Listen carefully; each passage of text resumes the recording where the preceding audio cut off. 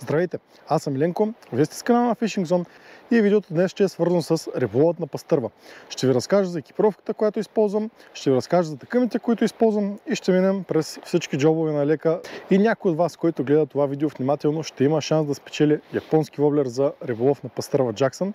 По някакво време ще направя включване и ще обясня подробно къде ще скрия един такъв воблер така че първия, който го намери печеля и ще помоля само да напише отдолу в коментарите под видеоклипа, че е открил воблера. Ако за първи път платите на този канал или все още не сте абонати, сега може да се абонирате с камбанката, за да получавате известия, когато качваме нови видеа. Пожелавам ви приятно гледане. Първото нещо, което ще разгледаме са очилата за риболов. Те имат няколко приложения. Първото е, че когато се предвиждате по реката, много често има шубраци, трънки, постоянно хвърчат клонки и по този начин, като се удрят в плаките, очите ви остават винаги предпазени. Също тогава се случва понякога да се закачи примерно на отсрещния бряг и когато се придърпва повече, тя да полети и отново ако нямате очила, могат да станат големи били. Освен, че предпазват очите по време на риболов, очилата могат да спомогнат много и за успешния риболов, като очила, които имат поляризация, премахват от блясъците, които се виждат по повърхността на водата. Така дори да е бистро, може да има дълбочина 2 метра, но като има отблясъци не може да видите какво се случва долу под дъното. А като сложите очилата, отблясъците премахват и може да се види къде има камъни, къде има укрития и така нататък. Така че наистина са полезен аксесуар. Съветвам, когато се търсят очила за риболов, те да имат също така и филтър с UV защита. Аз лично ползвам очила на Sera, модел Streetwear. Тези са с огледални плаки и с кафяви лещи. Могат да се използват и жълти, като жълтите плаки в а, такова мрачно време правят обстановката много по-светла. Аз лично предпочитам кафеви, защото според мен те са по-универсалните и за слънчево и за мрачно време. А отдолу в описанието под видеоклипа може да видите и други модели от чула, подходящи за риболов. Сега преминаваме и към мелека, модели всякакви, а, колкото повече джобчета има и за качалки по лека, толкова по-удобно. Този, който аз ползвам е на Рон Томпсън. Предимството му е, че има вътрешен голям джоб от едната страна. Тук има джоб с велкро лента за копчане за телефон или за нещо друго. Отпред има така също доста джобчета. Ето тук си имам и пластмасови халки за качане на различни аксесуари. Тук ми е косъра. Тук пък с ретракторче съм си закачил а, кохер и ножичка.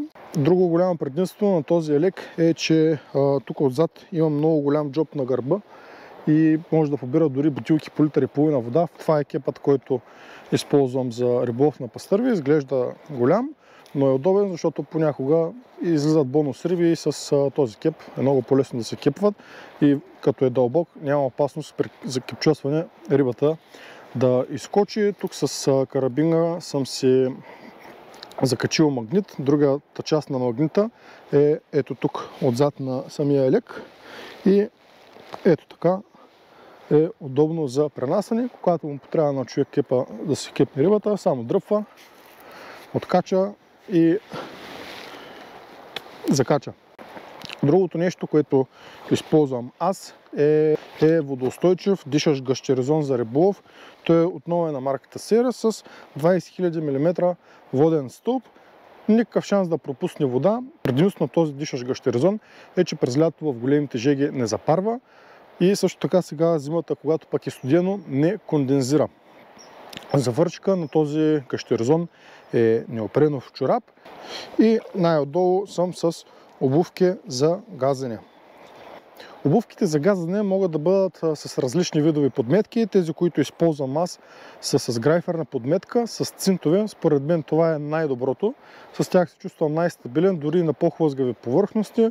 Другия варианти за обувки на газане са с обикновена грайферна подметка без цинтове или с киче. Като кичето не се хлъзга на каманаци, но когато човек прави преходи покрай реката, много лесно натрупва кал и става една подметка и не е много приятно за ходене, така че според местата, на които ходите, винаги може да си изберете обувките за газене. Държа да подчертая, че обувките за газене пропускат вода, няма как да не пропускат, но самия неопренов чорап предпазва кракът да остане сух. Обикновено обувките за газене се правят от такива материали, които са сравнително бързо изсъхващи.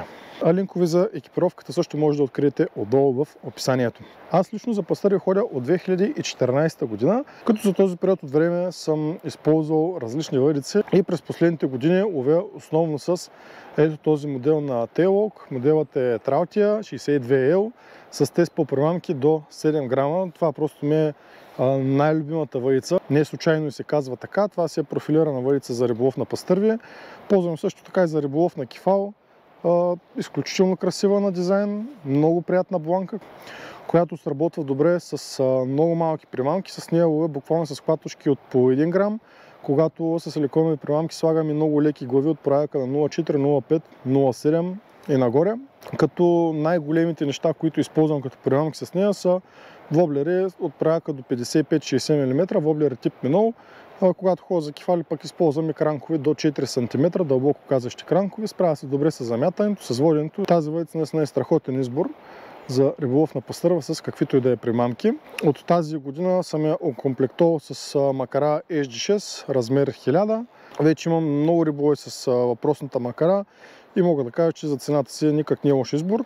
Въкното, което използвам по време на риболов на пастърва е 0,5 по японската номерация, а флорокарбона, който слагаме е 0,19 мм. Сега в редки случаи, когато очаквам да имам удар на някакви много големи риби, слагам и 0,21 мм. Това, което правя е самия повод си го правя по-дълъг. Примерно гледам винаги да е над метър и половина, дори почти съм стигал в моменти, когато повода ми е достигал до 1,82 м. Това го правя с цел, когато ловя на по-плитки места, да не се наранява влакното, като се тръка по камъните.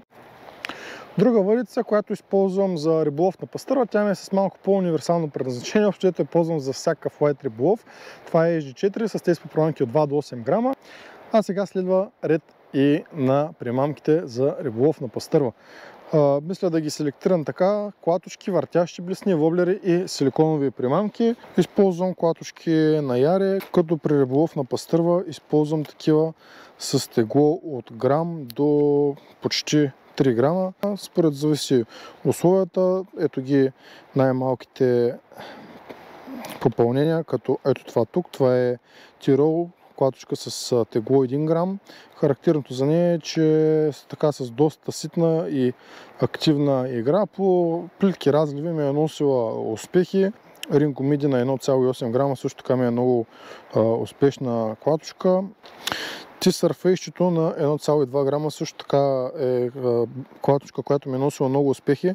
Нея пък е използвана за по-пасивни риби. Характерното при нея е, че при по-бавна скорост на водене тя има активна игра и за пасивни риби дава резултат, докато тиролчето е малко по-бърза блесничка и ние използвам основно в по-бърза вода на задържане. Друг успешен модел ми е Midi на 1,8 и също така Hammer на 2 грама. Ето ги и моделите Пирика 2,2 и 2,6 грама. С тях ловя на места, където трябва да пробия малко повече течението, иначе има много така стабилна игра срещу Течението моделът Пирика 2,6 грама ми е един от първите, с които ловя от доста години и ми е носил успехи както на по-дълбоки места, така и на по-плитки. Ето тук дори в момента имам едни фрещата Ево на 2 грама, които мисля да ги използвам за риболов на кефал. Така като цяло, клатушките обикновено ги използвам на по-плитки и по-разляти места с по-бавно течение. А сега преминаваме и към въртележките. Ето тук, в тази кутийка, малко мешна скара. Има някой друго воблерче, някой друго мъхче, но това са въртележките, които а, използвам, които са се доказали с времето като успешни в а, различни грамажи а това е блесничката Ярие Блендър. Специфичното при нея е, че е с малко по-особен профил на тялото. То е направено така, че блесната, когато се върти, да не превърта самото тяло идеята на това нещо е да предотврати максимално усукването на влакното, като тук горе си има вградено вирбелче. Моделите на блендър са с тегло 2,1 грама, 3,5 и 4,2 грама. С въртящи блесни ловя предимно на по-ограничени места, когато имам доста къси зони за облагане, защото буквално от мястото на цопване да изтече около 30 см и успявам да я задържа. А сега преминаваме и към силиконовите примамки. Да, ето тук, къде се скатава една либра. товарвата на либра си е успешна примамка. Рядко прибягвам до тях. В повечето случаи използвам фишата Black Minnow с глави 3 и 4 грама и половина. Black Minnow номер 1. С фишовете може да се лови на големи реки, може да се лови и на малки. Обикновено тя ги използвам, когато имам по-дълбоки зони и не мога да достигам там с воблерите. Като няма нищо сложно при риболова с а, тях, идеята е просто да се извозват максимално близко до дъното с скоростта на течението и евентуално, ако човек успява да задържа малко примамката. И сега преминаваме към най-интересната част воблерите. Това е за мен най-атрактивният риболов, защото ударите са брутални и дори 30 см рибки и по-малки правят невероятен кеф, когато атакуват примамката. Ето го и воблерът, който ще оставя в районът на край река Въча. Тук е известно място, съоръжението при село, ето къде се намира пътя на дигата. Ето там е реката и съоръжението. И мястото, което си харесах да оставя артиста, ще бъде ето тук. Има едно дърво. Няма как да се обърка мястото. Този воблер го имам от няколко месеца, още от предишния сезон. Ползвам си го като резервен, наистина много хубав цвят, много успешен воблер. И сега ще го скрия ето го въпросното дърво. Ето го съоръжението. Като гледам тук, никой няма да се навре, така че воблерчето го слагаме тук. Оп. Ето така го скривам. Така. Отгоре слагам и е това дърво с мъхчето. И ето го мястото. Ето отново показвам мястото. Така че първия, който го намери, за него си е. Та, ето ги воблерчета, малко са неподредени, но аз обичам да се разхвърлям. Сега, първото нещо, което виждам е Pointer 48 SP. Това е един страхотен воблер, който използвам за по-плитки места. Това е с воблерче, което означава, че с неутрална полаемост и понякога на рибите това се харесва, защото като се задържи нито изплува, нито потъва, има стабилно поведение срещу течението, така че с него може да се лови в по-забързани участъци и в по-бавни. В другата кутийка мисля, че са и братчета на 48 SP, а това е 48DD, дълбокият вариант на въпросния поинтер. Ето как изглежда с по-голяма лопатка. С този воблер предимно ловя на задържане, където имам бърза вода. Понякога рибите не искат да тръгват сред примамките и задържането носи резултати, а като е с по-голяма лопатка, воблера успява да набере по-голяма дълбочина. Стандартните воблери с малки лопатки при задържане се придържат на около 20-30 до 40 см дълбочина, нали, според зависи скоростта от течението, докато това нещо може да слезе над метър. Малкото метеорче в размер 45 мм. Отскоро лова с този воблер, поради простата причина, че отскоро се появи и дори през този сезон вече имам а, успешни риболови на река Панега с него. Много хубав воблер, който при препадане има една така специфична вибрираща игра, едни трептенита много добре реагира на предръпване, на твичове, има се стабилно поведение в течение, така че това нещо го ползвам общо дето навсякъде в места с по-бърза и по-бавна вода. Прибираме малкия метеор. Ето тук се появява и по-големия в размер 52 мм. Той е малко по-голям, малко по-тежък и съответно с него може да се облагат и по-дълбоки зони. Ето го и траутотюнчето. Траутюн го има в модели 3,5 и 6 грама като 6 грама е по-бързо потъващия, с него ловя на места с по-засилено течение. Потъващия ловя на места, където е по-голяма дълбочина, по-забързо на течение, защото има моменти, когато пък кривите не искат да се качват близко до повърхността да удрят и с 6 грамовия воблер до някъде успявам да пробия и да ги хващам. Това може би ми е най-универсалният воблер, ако така мога да го нарека. Има много хубава равномерна игра, реагира много добре на твичове и изключително стабилно поведение в течението. Дори в най-забързаното течение този воблер има стабилна игра. С този воблер наистина може да се обуват местата, където има най-бързо течение, примерно в течела на вирови или изтечела, или на места, където има голяма денивелация и просто водата се носи с много голяма скорост. Ето и друг любимец артист. Артистът е воблер, който има малко по-широко изразена игра спрямо траутюнчето. С него ловя на места, където има отново по-забързано и по-бавно течение. Но ако трябва да избирам между артист и траутюн за места като това тук, където нямам кой знае колко забързано течение, бих избрал артиста.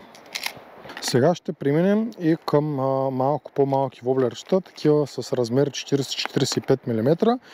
Ето, например, Джаксън Канаде, отново много хубава воблер. С него ловя предимно на по-малки реки или на големи реки, където нямаме голяма дълбочина.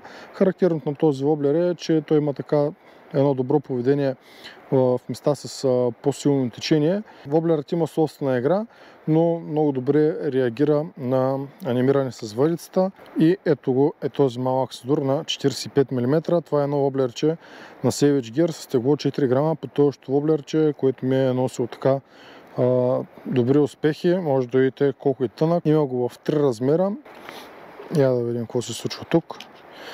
Има избор може, между другото, не знам дали забелязвате, но може би траутин е воблера, който фигура може би най-много в моята котия. Поради простата причина, както казах преди малко, може би това е най-универсалният воблер. Сега закачам един воблер на въдицата и ще ви покажа трите основни начина, по които аз ловя. Ето, примерно, тук на това място, според мен, рибите може би се придържат в отсрещния бряг и това, което правя най-често и на повечето места, където се ходя за пастърва, замятам се към отсрещния бряг, право към мен, оставам воблера малко да потъне и започвам да водя, като обирам равномерно влакното с макарата и така с върха на въдицата правя по едно, две, три изтегляния, като те може да са по-къси, може да са по-дълги. Общо взето идеята на Идеята е прималката да се движи доста разнообразно и може би забелязвате, че правя кратки паузи. Много често в тези кратки паузи следват и самите калвайнта на рибите. Когато нямам успехи при този начин на водене, често ловя поето този, замятам леко надолу по течението, повеждам воблера, като правя малко по-големи паузички. И разбира се, нагоре по течението е доста разпространен метод, но все още е раничко, като се позатопли, когато рибите са малко по-активни. Ще се ловят риби и така, но за момента все още е студено и нагоре по течението си е доста тегавко да се лови риба, защото тя обикновено вижда примамката, след което тръгва надолу след нея. Обаче за този метод все още раничко, дори на панега, където се е карстова река, където температурата на водата е сравнително по-топла от на всички други реки, все още нямам риба по този начин. Повечето риби са ми, както ви показах, замятайки право към срещния бряг и надолу по течението, извозвайки воблера с леки задържания. Това беше от мен. Надявам се, че видеото ви е било интересно. А ако искате да научите още за пастърва риболов, може да погледнете в плейлистата за риболов на пастърва. Обикновено се старая по време на всеки един риболов да обясня старателно и подробно за самия подход към местата и изборът на примамки за дадено място. Чао от мене и ще седим в следващото видео.